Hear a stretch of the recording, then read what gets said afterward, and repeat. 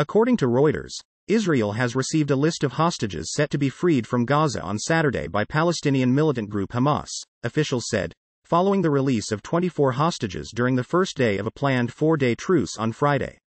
Israeli security officials were reviewing the list, said a statement from the office of Prime Minister Benjamin Netanyahu, whose government promised to work toward the release of all hostages taken by Hamas in an attack on Israel on October 7.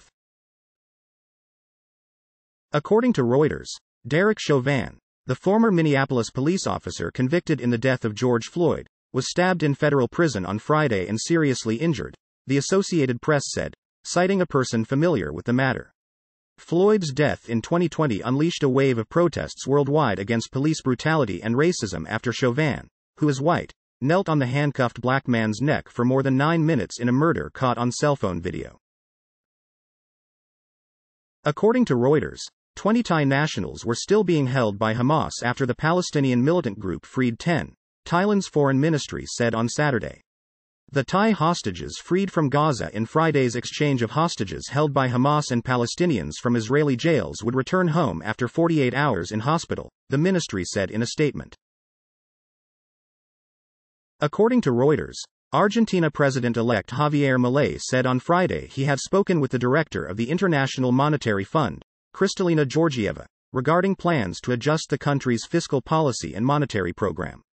The fund showed itself to be collaborative in looking to find the structural solutions Argentina needs, Milei said on social media network X. According to Reuters, lawyers for former Binance CEO Changpeng Zhao are urging a U.S. judge to reject the Justice Department's request to bar him from returning to his home in the United Arab Emirates until he is sentenced for violating anti money laundering requirements. Zhao's lawyers in a Thursday filing asked U.S. District Judge Richard Jones in Seattle not to reverse bail conditions set by a magistrate judge on Tuesday that would allow him to leave the U.S. while awaiting sentencing.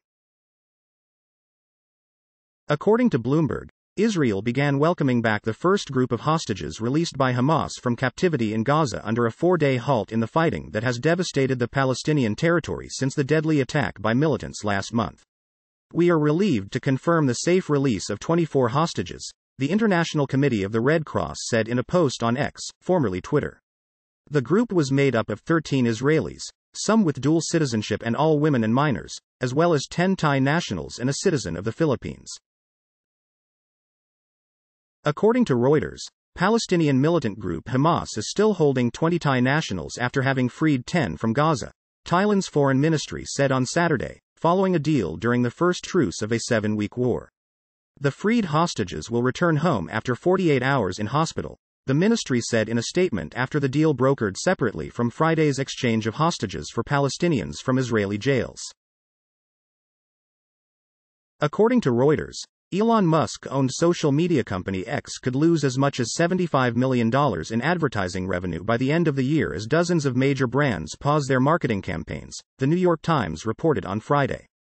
Musk backing an anti Semitic post on the platform last week has led several companies, including Walt Disney and Warner Brothers Discovery, to pause their advertisements on the site formerly called Twitter.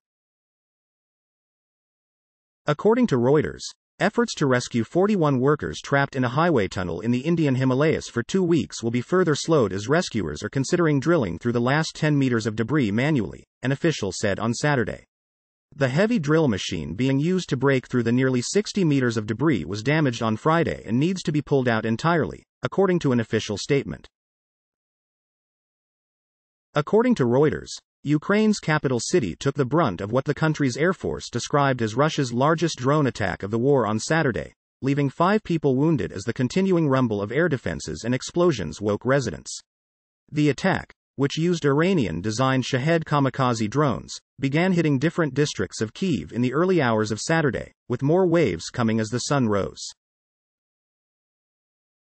According to Bloomberg, International Monetary Fund Managing Director Kristalina Georgieva and Argentine President-elect Javier Milei held their first call Friday night to discuss the country's economy amid triple-digit inflation and a plummeting currency.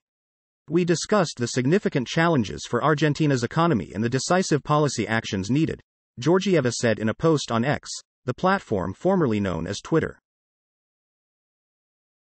According to Reuters, Hamas fighters released a first wave of 24 hostages, including Israeli women and children and Thai farm workers, under a truce deal that saw guns fall silent across the Gaza Strip for the first time in seven weeks, with more hostages set to freed. The following is a timeline of the war between Israel and Hamas, the Islamist movement that controls the Gaza Strip. According to Bloomberg, Israel said it expects Palestinian militant group Hamas to release more hostages on Saturday, a day after a four day ceasefire began in the Gaza Strip. Israel Defense Forces said it expects to receive about 13 captives a day until the total reaches approximately 50. Saturday's release is expected to take place around 4 p.m. local time, similar to Friday's, when Hamas set free 24 captives, including 10 Thais and one citizen of the Philippines, Al Jazeera TV channel reported. According to Bloomberg, a recession in the euro area is looking increasingly likely as the economic downturn persists in the final quarter of the year, private sector activity surveys showed. Meantime, the outlook for global trade got a boost this week as South Korea's exports are likely to maintain momentum. Elsewhere in Asia, Chinese banks maintained their benchmark rates as they aim to boost liquidity and support lending. According to Reuters, Israel and Palestinian Islamist group Hamas started a four day truce on Friday morning and a first group of hostages was released later that day. What are the details of the deal? According to Reuters, the Chinese military said on Saturday that American naval destroyer USS Hopper entered China's territorial waters without the approval of the Chinese government.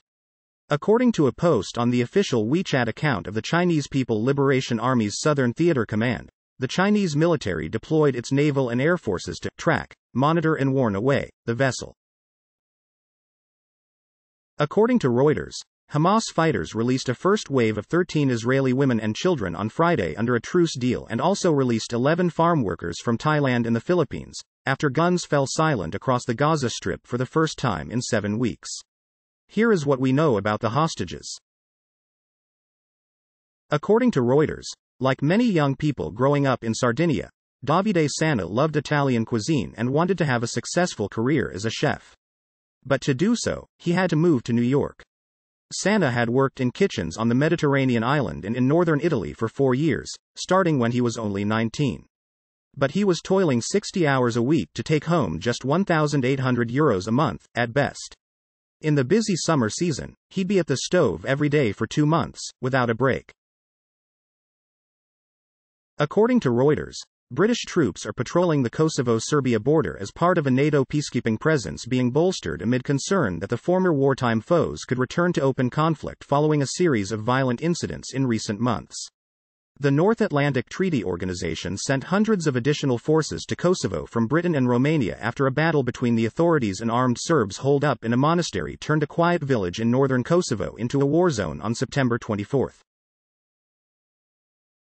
According to Bloomberg, Nigeria's central bank pledged major changes to get a grip on inflation and steady the country's battered currency, signaling tighter monetary policy ahead. The Central Bank of Nigeria will switch to inflation targeting instead of trying to control money supply in its battle to slow price increases, Governor Olayemi Cardoso said in a speech to bankers on Friday. The central bank raised its key rate by 25 basis points to 18.75% when it last met in July. Inflation since then has accelerated to an 18 year high of 27.3%. Cardoso also ordered commercial banks to bolster capital reserves. According to Yahoo Finance, last month, a real estate agent in Patty Zuzik's office got a call about selling a plot of land. The caller, who had heard about the real estate agency through a Facebook post, wanted to sell the vacant lot $75,000 below the market value. The caller's only request was that the transaction be in cash.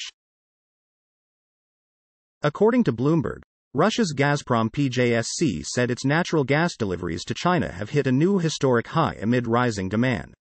Chinese National Petroleum Corp requested volumes via the Power of Siberia 1 route that once again exceeded Gazprom's contractual obligations on November 23, the Russian producer said in a statement cited by state news service TASS on Saturday. According to Reuters, Beijing police are investigating suspected crimes committed by Zhongzhi Enterprise Group, a leading Chinese wealth manager, according to a social media post published by the Chaoyang Public Security Bureau on Saturday. Zhongzhi earlier this week told investors it is heavily insolvent with up to $64 billion in liabilities, threatening to reignite concerns that China's property debt crisis is spilling over into the broader financial sector. According to Reuters, a financing scheme that draws on funding from Western donors to help developing countries shift to cleaner power generation could be mirrored for heavy industries and other hard to abate sectors, Egypt's climate champion said. Extending a just energy transition partnership structure to sectors including steel, aluminium, cement, and fertilizers made sense because of new European Union rules that would otherwise penalize developing world exporters, UN climate change high level champion Mahmoud Mohieldin said in an interview. According to Reuters, Ukraine needs more air defenses to protect its grain export routes as well regions bordering Russia, President Volodymyr Zelensky said on Saturday, as he addressed an international summit on food security in Kiev. There is a deficit of air defense, that is no secret, Zelensky told the Grain from Ukraine summit, which was attended by senior officials from European countries, including Swiss President Alain Berset and Lithuanian Prime Minister Ingrida Šimonytė. According to Yahoo Finance, making decisions about retirement savings can feel monumental. But what if someone told you that, money aside, your mindset may be the magic elixir. In a new report, Goldman Sachs Asset Management and Syntoniq, a behavioral finance research firm, surveyed 5,261 U.S. workers and retirees and teased out four psychological factors that can close the gaps between your retirement savings goals and your future reality. According to Bloomberg, Hamas will delay the release of the second group of hostages until Israel follows terms of their deal related to relief trucks in northern Gaza and certain, agreed upon standards for releasing prisoners, the group said Saturday. Earlier, a Hamas official shared a 14 item list of concerns, including the alleged fatal shootings of two Gazans and reconnaissance aircraft flying over southern Gaza. According to Yahoo Finance, after two years of higher spending, consumers are battling challenges like rising interest rates, dwindling savings, the return of student loan payments, and credit card debt. Call it choiceful, discerning, careful, Cautious, Telsey Advisory Group CEO Dana Telsey told Yahoo Finance Live. It's going to be a cautious, holiday, season. According to Reuters, MasterCard SpendingPulse said on Saturday that U.S. retail sales on Black Friday rose 2.5% year over year, excluding automotive sales, not adjusted for inflation. In September, MasterCard SpendingPulse, which measures in store and online retail sales across all forms of payment, said it anticipated U.S. retail sales, excluding automotive, to grow 3.7% during the holiday season, running from November 1 through December 24. According to Bloomberg, Chinese authorities said they recently opened criminal investigations into the money management business of Zhongzhi Enterprise Group Company, days after the embattled shadow banking giant revealed a shortfall of $36.4 billion in its balance sheet. Police in Beijing said in a statement on WeChat that they took criminal mandatory measures against multiple suspects, identifying one by the last name Xie. They urged investors to report cases or provide leads to the authorities, including filing complaints online. Xie Zhikun, the group's founder, died in 2021, but several of his relatives are currently executives at the company. According to Bloomberg, Demian Reidel has turned down an invitation to lead Argentina's central bank in the administration of President elect Javier Milei, Clarin reported on its website, citing people familiar with the move that it didn't name. Bloomberg previously reported that Milei had tapped Reidel and Luis Caputo, two former officials who held key posts during Mauricio Macri's presidency from 2015 to 2019, to lead his economic team. According to Bloomberg, Signa is holding last ditch talks with investors, hoping to secure a funding lifeline and avoid a wave of insolvencies in the 23 billion euros property empire. One unit of the sprawling conglomerate founded by Austrian tycoon Rene Benko already filed for insolvency on Friday, and further notifications may follow in coming weeks, according to two people with direct knowledge of Signa's efforts. According to Bloomberg, Inflation gauges in the US and Eurozone are set to show the smallest annual increases since early or mid 2021, reinforcing sentiment that interest rates won't be raised again. The Federal Reserve's preferred measures will be published on Thursday, with the Personal Consumption Expenditures Price Index seen rising 3.1% in October from a year ago. The core measure, which excludes food and fuel and is considered a better gauge of underlying inflation, is expected to have climbed 3.5%. According to Reuters, the Premier of Alberta, Canada's main oil producing province, on Saturday said her government intends to move an act on Monday to shield provincial power companies from proposed federal clean electricity regulations. Speaking at a morning radio program on Saturday, Premier Danielle Smith, who says the plans of the federal government to cut greenhouse gas emissions will wreck the energy industry, said she was driven to act by frustration with the federal government. According to Reuters, Signa, Austria's largest privately owned real estate company, is holding last ditch talks with investors, hoping to secure a funding lifeline and avoid a wave of insolvencies, Bloomberg News reported on Saturday. One unit of the sprawling conglomerate founded by Austrian tycoon Rene Benko already filed for insolvency on Friday, and further notifications may follow in coming weeks, the report added, citing two people with direct knowledge of Signa's efforts. According to Reuters, 13 Israeli and 4 Thai nationals released from Hamas captivity arrived in Israel on Sunday and were set to be reunited with their families as part of a crucial hostage deal, which briefly risked falling apart due to a dispute over aid supplies. The short lived row over aid that threatened the temporary truce to free captives was overcome with the mediation of Qatar and Egypt, but it underscored the fragility of the agreement, through which a total of 50 Israeli hostages are to be exchanged for 150 Palestinian prisoners over four days. According to Bloomberg, the world's most developed nations will be told to curb their excessive appetite for meat as part of the first comprehensive plan to bring the global agri-food industry into line with the Paris Climate Agreement. The Global Food Systems Roadmap to 1.5C is expected to be published by the United Nations Food Agriculture Organization during the COP28 summit next month. Nations that overconsume meat will be advised to limit their intake, while developing countries, where underconsumption of meat adds to a prevalent nutrition challenge, will need to improve their livestock farming, according to the FAO. According to Reuters, the foreign ministers of South Korea, China, and Japan meet in South Korea on Sunday, seeking to restart cooperation among the Asian neighbors and pave the way for a trilateral summit. While China and the United States have been mending frayed ties, including a summit this month between Presidents Xi Jinping and Joe Biden, Beijing is concerned that Washington and its key regional allies are strengthening their three way partnership.